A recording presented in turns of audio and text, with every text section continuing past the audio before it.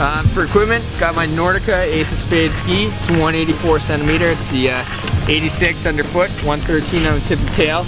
Um, super fast race base. Um, that's matched with the Ace of Spade Nordica boot as well. Fits well with the ski. Um, use Look pivot bindings. To be honest, I crank the bindings as high as they'll go because during comp, I don't want to explode. I don't want to come out of them. Um, so, you know, honestly, injuries on the line, but you also got to throw down a crazy run. So it's a balance between. So I just totally crank them. Got my POC helmets and POC goggles.